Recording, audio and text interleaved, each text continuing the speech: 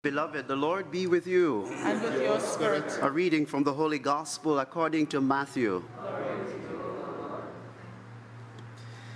After the wise men had left, the angel of the Lord appeared to Joseph in a dream and said, Get up, take the child and his mother with you, and escape into Egypt, and stay there until I tell you, because Herod intends to search for the child and do away with him. So Joseph got up and, taking the child and his mother with him, left that night for Egypt, where he stayed until Herod was dead. This was to fulfill what the Lord had spoken through the prophet I called my son out of Egypt. Herod was furious when he realized that he had been outwitted by the wise men, and in Bethlehem and its surrounding district, he had all the male children killed who were two years old or under, reckoning by the date he had been careful to ask the wise men. It was then that the words spoken through the prophet Jeremiah were fulfilled. A voice was heard in Ramah, sobbing and loudly lamenting. It was Rachel weeping for her children, refusing to be comforted because they were no more. The good news, the gospel of our Lord Jesus Christ. You, Lord Jesus Christ.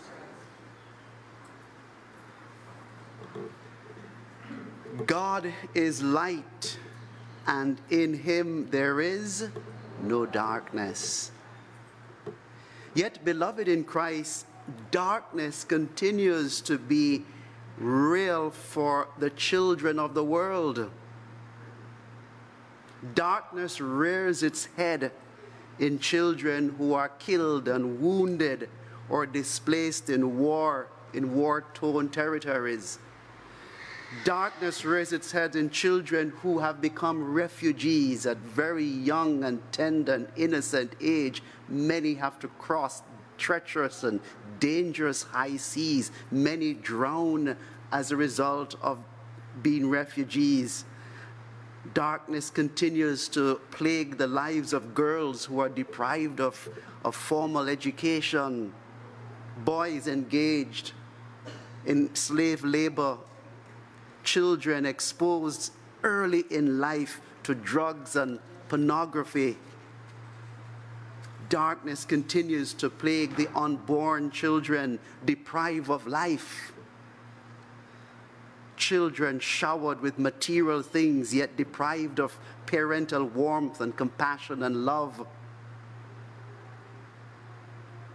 Beloved in, this, beloved in Christ, in this global context, today's feast of the Holy Innocents is an important one. It is a reminder to all of us, and it serves three purposes. Number one, today's feast reminds us, or it's an opportunity for us to honor and celebrate the weakness of children who died in order to save one child so that that one child can die in order to save all of us.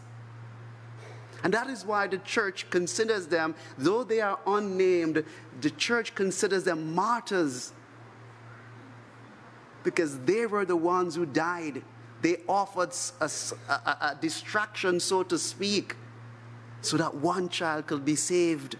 And so it's so important the church sees the need to honor and celebrate their lives so that they become a model for us, a model for us that we need to die in order to save others. The second purpose of this feast, beloved in Christ, is that, like Rachel, the world, you and I continue to weep and grieve of the suffering and killing of millions of children throughout the world. Ramah, where Rachel weep, is a town about nine kilometers north of Jerusalem. It was the place where the exile were gathered and forced like animals, forced to gather before their deportation to Babylon. They were treated like animals in the way that the Africans were, were, were, were carted and, and placed in, in closed uh, prisons in Calabar on the west coast of Africa before ship, being shipped to the, to the so called New World. But there's still Ramas that continue to exist today. There are new Ramas today where children are experiencing where children are being killed. And not only are there new Ramas, but there is a new Rachel that exists. The church is the new Rachel. The church continues to cry out for the millions of children who are suffering and dying. So, the church, you and I, we must weep, we must cry for these children because our tears remind the world of their suffering. And third, the purpose of this feast is to remind us that out of the blood of these innocent martyrs rises a child who is the light that is going to save the world and save the children of the world. This light, this child is the light. He's full of wisdom, beauty, power, compassion and holiness. That's why he's considered light. And so the missionary challenge, beloved in Christ, that is given to us today is that if you and I develop a relationship with this child who is the light and who has no darkness, then our relationship with others especially children, must be governed by wisdom, compassion, beauty, power, and, and holiness. We must be like the light, Jesus Christ.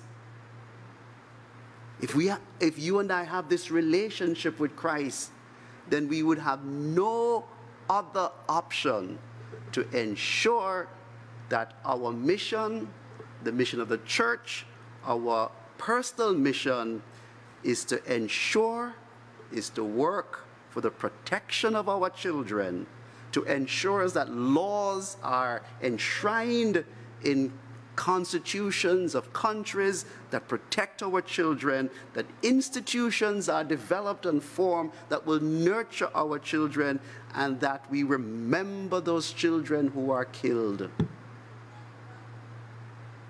We have no other option this feast reminds us that we have a mission and we have a commitment to protect every child, from the child in the womb to the child who is born.